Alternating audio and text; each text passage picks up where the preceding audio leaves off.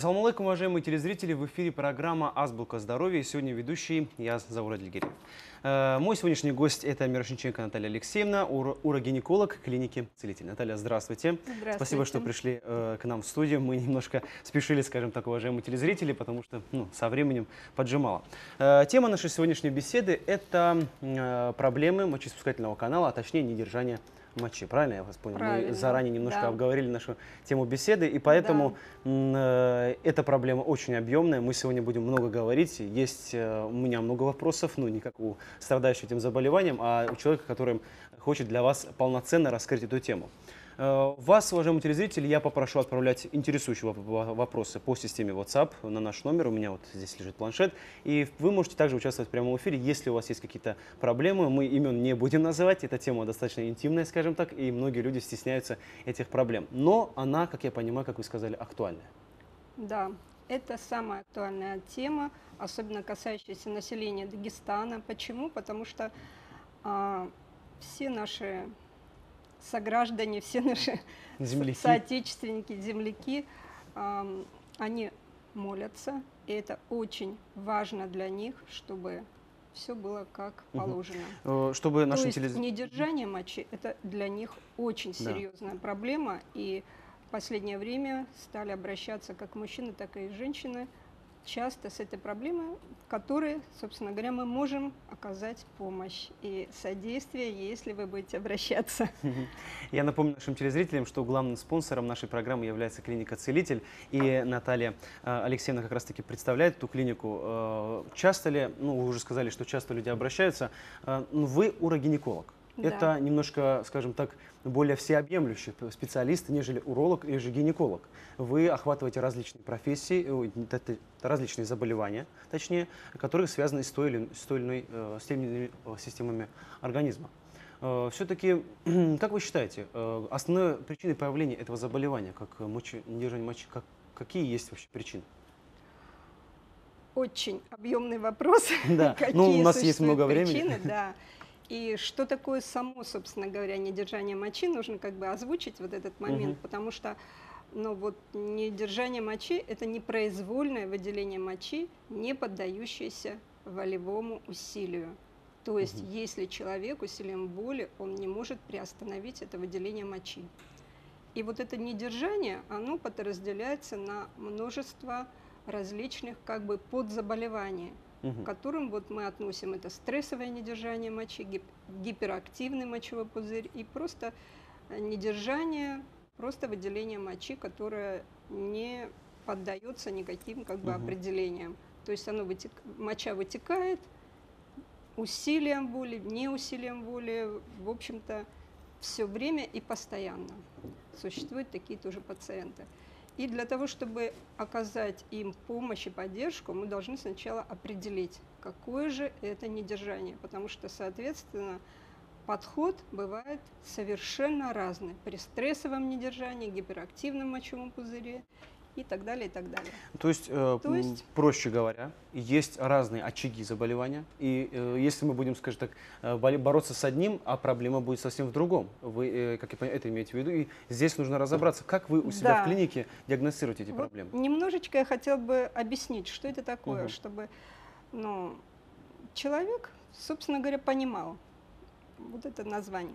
Например, стрессовое недержание мочи. Это непроизвольное истечение мочи при напряжении. Напряжение – это кашель, чихание, смех. Любое напряжение, даже поднятие тяжести. Вот любое напряжение Мгм. вызывает выделение маленьких порций мочи, и это есть стрессовое недержание мочи. Гиперактивный мочевой пузырь – это когда у человека возник позыв к мочеиспусканию, и тут же, в ту же секунду, моча вытекает. Мгм. То есть он знает, что она должна у него выделиться, но ничего сделать не может. то есть здесь усилие воли не помогает. Вот. И существует смешанное недержание мочи, то есть когда присутствует и тот, и другой компоненты. Вот. А также существует энурез. Мгм. Это тоже недержание мочи в любое время суток. Но если это недержание а, возникает только ночью, то это называется ночной энурез, то есть который присутствует чаще в подростковом, детском возрасте, и мы тоже можем оказать помощь таким пациентам. Ну, если более подробно на эту тему, эту тему раскрывать, то у нас существуют методы диагностики. Например, Это у вас в клинике. Они специфически отличаются ну, от других? они нет, Мгм. это просто методы диагностики, которые мы используем для определения, какое же это недержание мочи. Например, существует вот такой вот дрип-тест. Мгм. То есть по этому дрип-тесту, это как бы анкетка такая, мы определяем, к какому же типу недержания относится вот да- данное недержание мочи. И, соответственно, значит, мы правильно а, сможем лечить этого человека. Для того, чтобы более глубинно определить, что же это такое, у нас существует вот такой вот дневник мочеиспускания. То есть пациент, он должен заполнить этот дневничок. Дневник мочеиспускания, он включает в себя в течение суток человек должен ну, проконтролировать, собственно говоря, сколько он выпил, сколько он каждый раз, в какое время помочился, отмечать время мочеиспускания, время принятия жидкой пищи или жидкости каких-то, и когда и в каком в какое время был вот момент недержания. То есть мы по этому дневнику мочеиспускания тоже можем сразу и глубинно определить, к какому типу относится. А от этого уже зависит наша помощь. То есть мы очень легко сможем оказать помощь такому пациенту. Вообще пациенты больше мужчин или женщин все-таки? Или уже нет такой, А, скажем так? больше женщин, больше женщин. Мгм. Ну, я хотела сказать немножко о статистике. В общем-то, вот это заболевание, как таковое, недержание мочи, оно чаще бывает у женщин. Вот по статистике мировой 45% женщин страдает этим недугом Во всем мире. во всем мире. Мгм. Да, это мировая статистика. А есть ли, скажем так, какие-то И- очаги? Я имею в виду центры, где больше нет, всего. центра нет, потому что я Мгм. потом объясню, с чем это связано именно у Ага. женщин. Вот. А у мужчин такой недуг бывает только в 6,5%. Видите, какая разница? Ну да, Поэтому, естественно, обращается женщина, и в основном, конечно, это связано с родами, с операциями, которые переносят женщины. И, естественно, у них нарушается там То есть повреждения какие-то происходят. Да, да, Мгм. вот послеродовые различные повреждения мышц. Ну, Если вот так объяснять. Хм. Вот. Еще недержание мочи, оно бывает связано с какими-то воспалительными процессами. Поэтому тоже очень важно на приеме определить, связано ли это с воспалением или это связано с другими какими-то моментами. Вот для этого, я же говорю, существуют различные анкетки у нас. Мгм. Например, вот анкета для выявления заболеваний мочевого пузыря. Вот такая анкета. По этой анкете мы очень легко можем определить, с чем же связано это недержание мочи. Вот. И, естественно, когда мы уже определяем, если это воспалительного характера недержание, мы, конечно, проводим какие-то противовоспалительное лечение. Не просто противовоспалительное лечение. Если это э, задействован здесь мочевой пузырь, уретра, то, естественно, мы проводим противовоспалительное лечение мочевого пузыря, уретрита, то есть цистита, уретрита. То есть это все может определить только врач. Ну, то есть, Какова э, причина? Например, для меня немножко ноу-хау то, что вы говорите, потому что я э, ну, с этой болезнью никогда не сталкивался. Обычно для меня, то есть приход в больницу это обязательно сдача каких-то либо анализов. То есть не просто задачка вопросов, там, как у вас Правильно, болит. А правильно. здесь в этом случае Кон- нужно обязательно проходить и обязательно, анализы тоже да, какие-то? Конечно, Мгм. обязательно нужно сдавать анализ крови, мочи, М. сделать УЗИ для того, чтобы мы могли определить, Точно воспаление ли это, или это не связано с воспалительным процессом. И первым делом, конечно, если пациент пришел, мы собираем анамнез. Анамнез это как раз и вот эти анкеты сюда входят. Мгм. И задаем вопросы различные, что с человеком произошло в течение жизни, почему у него возникло это недержание. Это могут быть какие-то операции. У мужчин это аденома и операции после аденомы, которые дают вот недержание. Или какие-то воспалительные процессы, уретры, мочевого пузыря. Это то, что связано с мужским населением. У женщин это те же роды, операции различные, связанные и с родами, как кесарево сечение, и другие операции, которые по гинекологии они перенесли. А также воспалительные процессы, которые часто тоже присутствуют у женщин, это циститы, уретриты, вот в этом плане. Мне интересно, а вот это вот заболевание, оно формируется со временем или же вот после какого-то определенного, скажем так, э, какой-то ситуации, после, заболе... после, а, как вы сказали, после родов? Я имею в виду то, что можно ли как-то предупредить заболевание, чтобы оно не появилось в конечном итоге? А, Предупредить, думаю, нет, потому что если это у молодого человека появляется Мгм. это недержание, то оно, скорее всего, связано с какими-то воспалительными процессами. Мгм. Если это у ребенка, то это тоже может быть много причин. Первая причина это тоже какой-то воспалительный процесс. Ну и дальнейшие какие-то нейрогенные бывают причины и так далее.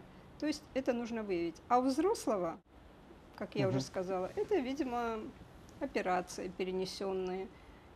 Ну, очень часто, если уже достаточно такой взрослый человек, это может быть связано с гормональными сдвигами, то есть со снижением гормонального Мгм. фона. То есть это преклимактерические состояния, в основном у женщин, хотя у мужчин сейчас тоже уже определяют, что тоже бывает с этим связано, с этим- со снижением гормонального фона. Поэтому и в лечении тоже присутствуют гормональные препараты, которые вот именно в этом возрасте не достают Мгм. пациенту.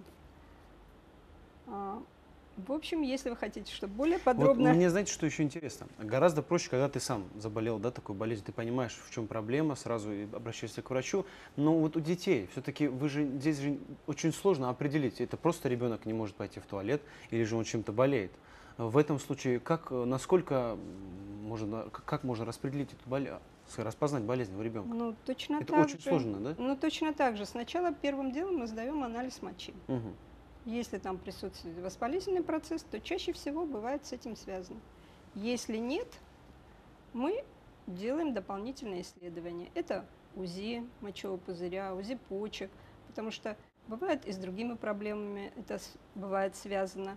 Мгм. Или тогда присоединяется консультация невролога. Мгм.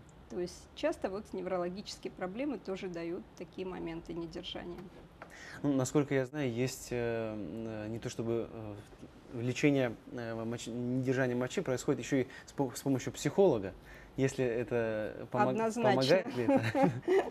Думаю, что, В каких думаю, случаях да. лучше обращаться к психологу? Потому что, насколько э, я знаю, многие мужчины, особенно страдают стрессовыми, стрессовыми, они думают, что это проблема физиологии, а на самом деле это психологическая, э, скажем так, подоплека. Вот что, в каких случаях это влияет именно а, со стороны психологии? Ну, со стороны психологии я не сталкивалась, Мгм. чтобы эта проблема возникала. Но думаю, что а, психолог может оказать э, помощь уже в ходе лечения. Мгм. Почему? Потому что э, бывают э, пациенты вот в таких депрессивных состояниях, когда вроде бы мы провели лечение, все хорошо, но все равно эти моменты до конца не снимаются, потому что он психологически настроен на то, что у него эта проблема не снимется. Поэтому Мгм. здесь, конечно, нужна помощь психолога. То есть убедить его в том, что любую проблему можно снять вполне, вполне реально. Сам- Нет, с помощью врача. Самостоятельно, ну, смотря что. М. Смотря что. Ну, в, данной, в данной проблеме самостоятельно Ну, я имею в виду, есть какие-то категории, то есть если уже, когда ты уже полностью прошел курс лечения, нужно Да. как-то себя самого После того, настроить как на это прошел курс обязательно. лечения, да, Мгм. можно снять. Как лучше лечить эту, э, эти заболевания? Есть, наверное, какие-то методы и с помощью лекарств, и без лекарств, и, наверное, уже, скорее всего, хирургия. Расскажите, пожалуйста, об этом поподробнее нашим телезрителям. Ну, для того, чтобы лечить, мы сначала должны поставить диагноз, правильно? Ну да, обязательно. Вот. Если пациент приходит к доктору, то первым делом он собирает анамнез. Что это такое? Это первый этап обследования. То есть, когда врачу необходимо а, предоставить полную информацию о, обо всем, что с пациентом происходит. То есть, если это женщина, то количество родов, продолжительность, обо всех оперативных вмешательствах на органах малого таза, Мгм, мгм. вот, а также о сопутствующих заболеваниях, таких как сахарный диабет, который тоже, так сказать, ухудшает это состояние, инсульт и так далее. Что перенес человек, какие болезни. А второе, что мы должны обязательно делать, это осмотр. То есть, если это женщина, то мы делаем влагалищное исследование, при котором берутся различные анализы. Это мазки, а, шейки матки с влагалища, и они отправляются на исследование, на ПЦР-диагностику, потому что различные микроорганизмы могут вызвать воспалительный процесс и, естественно, уже привести вот к этому моменту недержания. После этого делается а, ультразвуковое исследование как мочевого пузыря, так и почек. А, Существуют такие методы исследования, как тест с прокладкой, которые а, проводятся для определения количества непроизвольно выделяемой мочи. Мгм.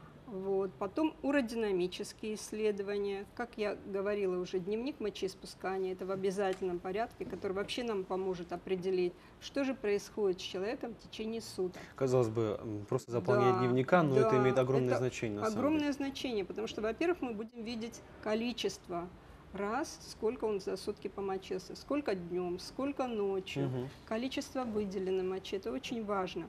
Где, в какие моменты произошли утечки, так сказать, то есть где произошла потеря мочи, при каких ситуациях. Все это в дневничке записывается. То есть вот дневник мочеиспускания, он дает нам очень такой вот полноценный, полноценный Картину как бы болезни. картину, да. Вот. Здесь и отмечается а, измерение мочи, то есть количество. Этот дневничок нам дает очень большую информацию. Вот. Потом существует еще урофлоуметрия. Это оценка показателей мочеиспускания. Существует такой прибор, урофлуометр, при котором мы, в общем, определяем, как происходит мочеиспускание. То есть, что задействовано, что нарушено. То ли Мгм. сократимость мышц мочевого пузыря, то ли сократимость ор- области сфинктера мочевого пузыря. То есть это тоже очень такие тонкие исследования, которые нам помогут а, оказать уже дальнейшую помощь.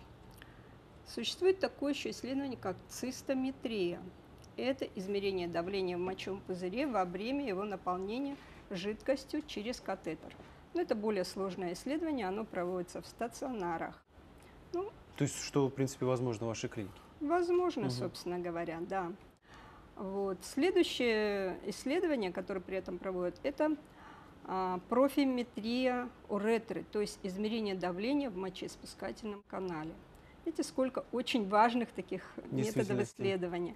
И существует еще один такой новый метод исследования – это электромиография, измерение сокращения мышц промежности.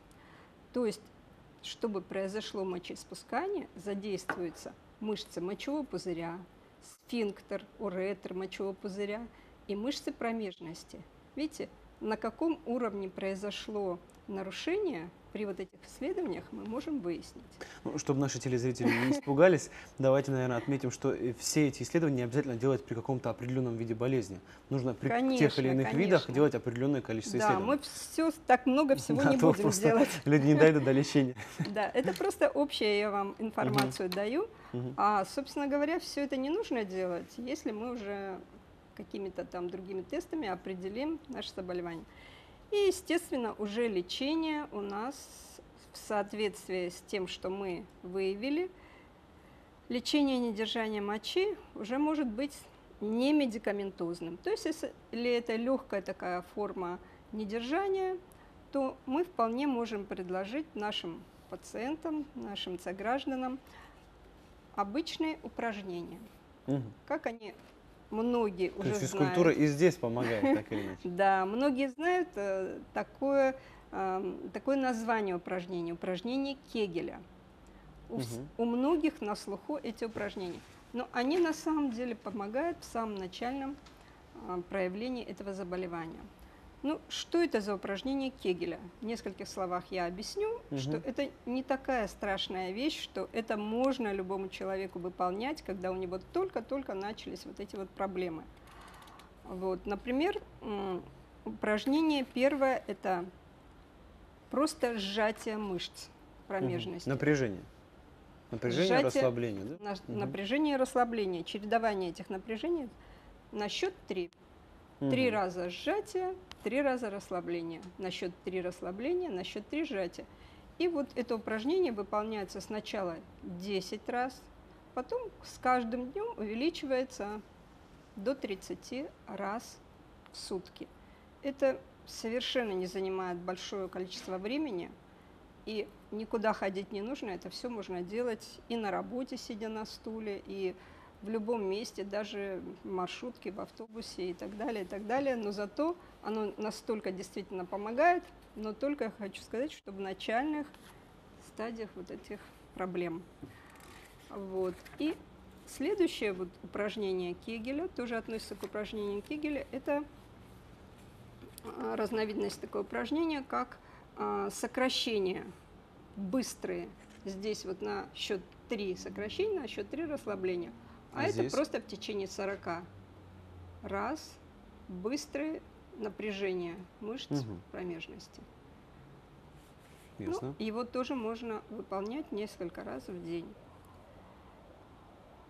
Если кого-то заинтересуют эти упражнения, я думаю, можно посмотреть в интернете более подробно все это. Там есть и картинки, как все это выполняется, другие там э, разновидности упражнений.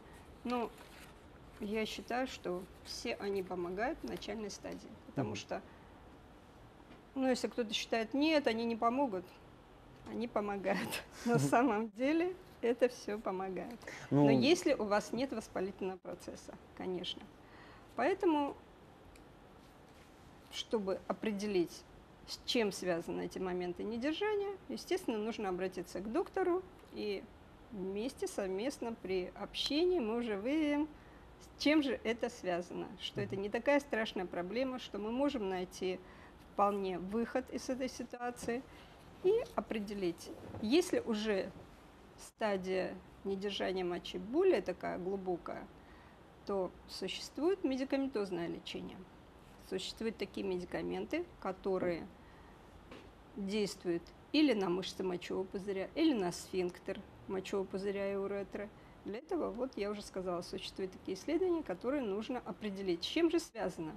Если это связано все-таки с мышцами мочевого пузыря, то существуют одни, одни медикаменты. Если с- сфинктер то не- другие медикаменты. да, не расслабляется или не сокращается, то другие медикаменты.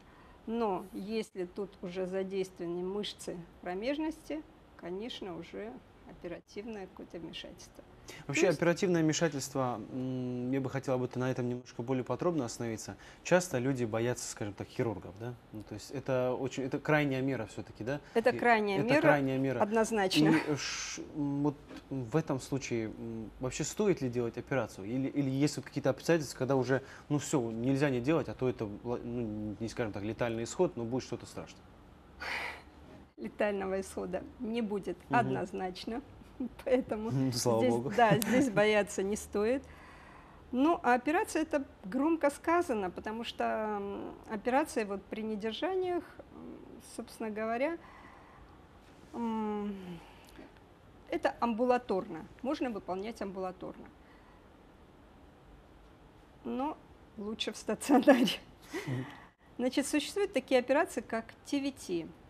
Это обычная петля, которую ставят вокруг уретры. Но, естественно, ее у нас в Дагестане ее выполняют в стационаре. М. Амбулаторно не в нашем целителе тоже не выполняется эта операция, потому что она требует наркоза. Вот, поэтому, если уже до этого дошло, то ее делают в стационаре. Это очень несложная операция, она достаточно легкая. Но единственное, что я хочу сказать, что не всегда она дает эффект, эта операция. Поэтому не стоит доводить до того момента, когда придется все-таки нам прибегнуть к этой операции. Лучше обращаться сразу к доктору, не стесняться, э, сказать свои жалобы, потому что если не я, то существует много других докторов, которые эту проблему хорошо знают, хорошо разбираются в ней и вполне могут оказать вам ну да, этот момент хотелось и подчеркнуть, помощь. потому что многие люди не обращаются с этими проблемами в больницу, в первую очередь потому, что Да, стесняются. Надо потому обращаться. что боятся там чего-то лишних взглядов там, и так далее. Все это, все это имеет значение действительно для каждого человека. М, Вот и, м, у меня большой вопрос, и у некоторых наших телезрителей интересуется, что касается детей. То есть, опять же, вопрос задают. Ребенок 6 лет, Мгм. у него происходит мочеиспускание ночью в течение трех раз. И стоит ли бить тревогу? Вопрос такой. Конечно, стоит бить тревогу. То есть, может быть, какая-то проблема все-таки. Ну, если это только началось, или Мгм. если оно так и было все время, он мочился ночью до 6 лет, и они не обращались, это, конечно, очень плохо. А если проблема только началась, то я думаю, надо сразу обратиться к доктору. Может быть, это очень легко с этим справиться.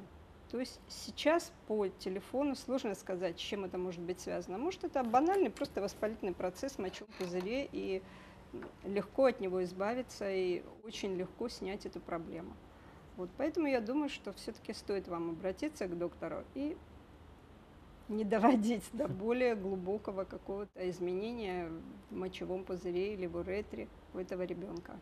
И хотелось бы немножко э, уточнить э, у вас, Наталья, в каком именно целителе вы принимаете, где лучше проходить диагностику именно с, с вами, потому что многие телезрители, я уверен, заинтересовались и к вам как специалистам, и куда лучше обращаться. Ну, я работаю в поликлинике «Целитель» на Толстого 5, Мгм. угол, угол Толстого 5 и Каркмасова 14. Мгм. Это здание находится возле ЦУМа.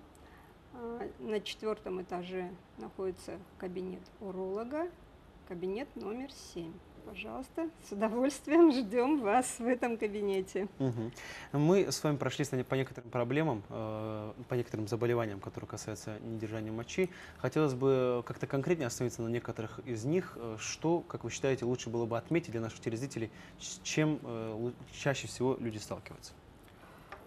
Ну, чаще всего, когда пациенты обращаются к нам, они жалуются на недержание мочи при напряжении. Это как такое они отмечают самое первое, что они заметили. Ну, что такое напряжение? Напряжение это считается кашель, чихание, смех. Ну, Человек кашлянул, и у него произошло Мгм. непроизвольное выделение мочи. Ну, в данном случае это называется стрессовое недержание мочи. М. То есть это Вот как-то такое связано со стрессом? Да, такое не... Нет, это не связано со стрессами, это оно просто так называется, стрессовое недержание Ну, мочи. чтобы люди не путали, скажем так, Да, с чем да, это связано. да.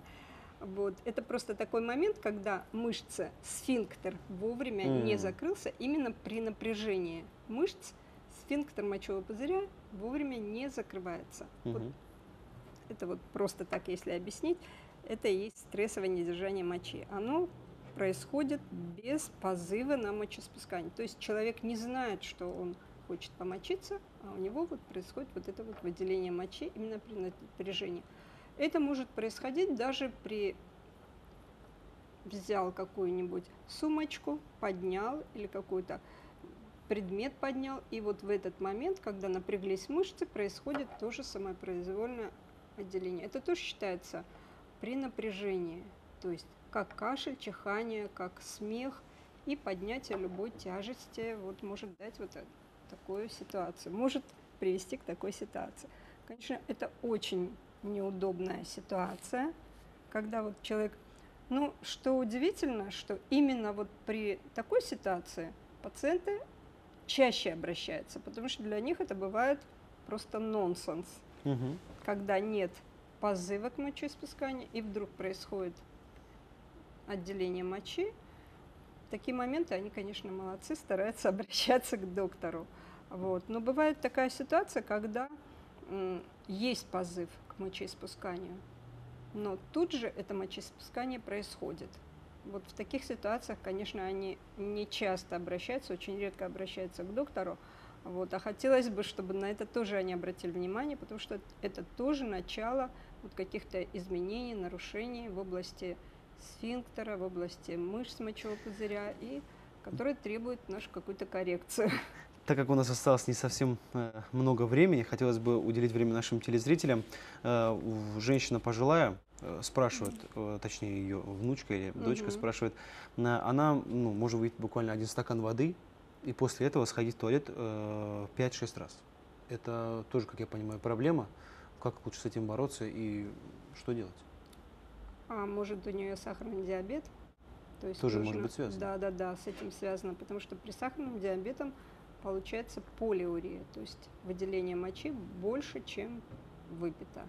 То есть это тоже нужно выяснить. Кстати, кровь на сахар и на холестерин в, нашем, в нашей клинике м, сдают бесплатно. То есть они Отлично. могут, да, могут и консультацию терапевта получить бесплатную по ОМС.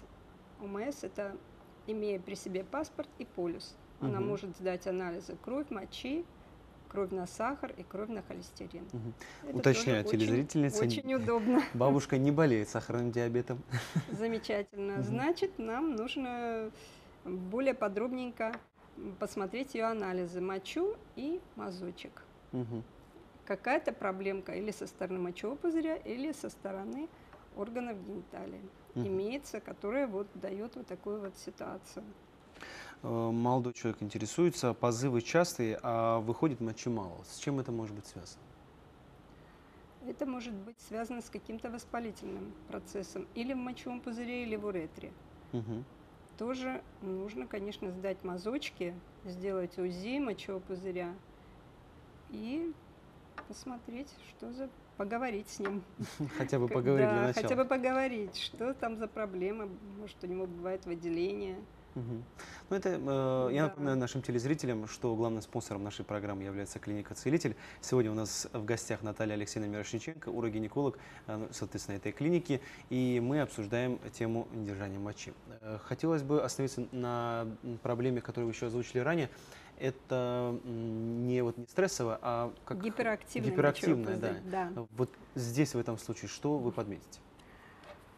А, Значит, существует еще одна такая проблема, тоже которая относится к недержанию мочи, это гиперактивный мочевой пузырь. Это просто я не озвучила это название, но я сказала, что это когда у человека есть позыв к мочеиспусканию, и это мочеиспускание происходит тут же после позыва. Это и называется гиперактивный мочевой пузырь.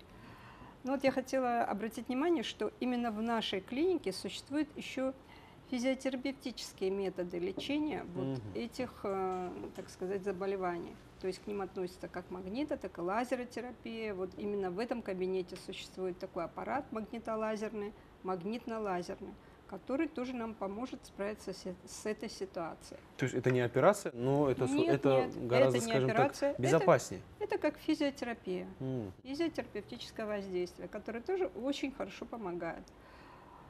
Кроме этого, существуют еще некоторые физиотерапевтические воздействия, как вот воздействие импульсными токами и так далее. Ну, то есть в наших руках существует много методов, которые нам помогают справиться с этой проблемой. Ну, проблема в любом случае, скажем так, не уйдет незамеченная, да, у вас в да, клинике? да, да, не уйдет незамеченная.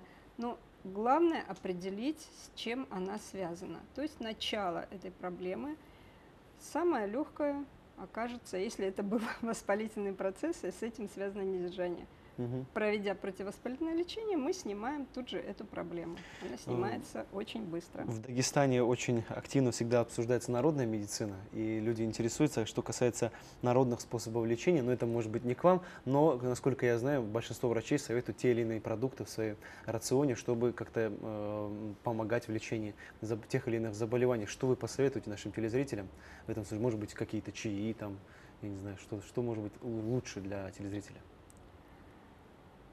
Может быть, что-то, чего-то лучше ограничить, скажем так, каких-то определенных соков, воды, может быть. Должно огорчить вас, дорогие телезрители, что ну, здесь народная медицина, конечно, если это связано с воспалительным процессом, мы можем использовать какие-то травы противовоспалительные, чтобы снять Мгм. в данном случае воспалительный процесс. Ну, в других ситуациях здесь все-таки, Лучше не шутить, сказать, с этим. да, здесь все-таки проблема совершенно другая. И, но если только иглотерапия, иглорефлексотерапия, и то это сначала нужно поставить точный диагноз.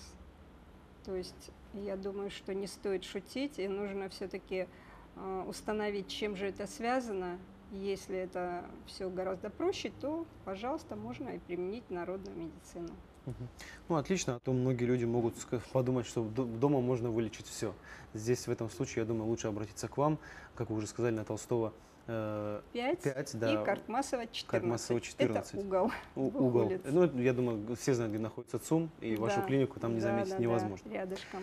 Э, Наталья, ну, у нас ос- осталось немного времени, э, и мы часто с вами касались тех или иных, э, скажем так, причин появления этой болезни. Какой лучше вести образ жизни, скажем так, чего лучше придерживаться, чтобы так или иначе избежать этого всего, ну, как-то постараться не заболеть, скажем так.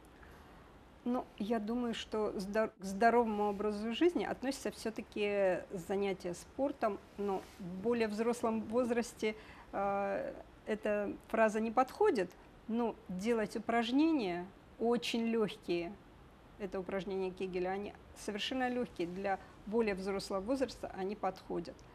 И если ну, кого-то это интересует, мы можем дать даже распечатки этих упражнений. Они могут обратиться в наши клиники и получить э, распечатку, какие упражнения можно проводить дома. И Мгм. все эти упражнения, они настолько легкие, и настолько не требуют каких-то мышечных напряжений. Вот, например, здесь и картинки есть, Мгм. как выполнять эти упражнения. Они в основном лежа или стоя проводятся. Если это более взрослый человек, лежа вполне может он эти упражнения делать, и это все-таки оказывает какое-то воздействие, помощь. Плюс наше медикаментозное лечение тоже поможет ему избавиться от этой проблемы. Я думаю, что Образ жизни, в общем, все-таки нужно обращаться. Ну, не столько спортивный, конечно, если говорить о наших взрослом населении, спортивный образ жизни мы, ну, хотя можно им рекомендовать легкие упражнения. А то, что с возрастом они уменьшают количество принимаемой жидкости, как они считают, что это связано вот с большим приемом большого количества жидкости, связано вот это недержание, это совершенно не так, неправильно. Нельзя уменьшать количество жидкости, потому что наша мочевая система, она имеет какой-то предел. И обязательно нужно в сутки пить не менее полтора литра жидкости, чтобы почки, мочевой пузырь хорошо и полноценно работали, могли сокращаться, так как они уже приспособлены Да. к этому. Наталья, я благодарю, что пришли в нашу студию, рассказали действительно о такую, скажем так, пикантную тему, и многие люди стесняются об этом говорить, но мы сегодня постарались максимально раскрыть то, что есть, скажем так, в нашей силе и нашем времени. А я напомню, что э, главным спонсором нашей программы является клиника «Целитель». Э, мой сегодняшний, моя сегодняшняя гостья – это Наталья Алексеевна Мирошниченко, урогинеколог клиники «Целитель». Э, вы можете обратиться на Толстого э, 5, э, на перекрестке с улицы Каркмасова. Это район 14. тор- э, центрального универмага, ну, ЦУМа. И я думаю, вы не, не заметите, это клинику точно невозможно. Э, спасибо, что нас смотрели. С вами был я, Заврад Гиреев. Всего доброго и не болейте.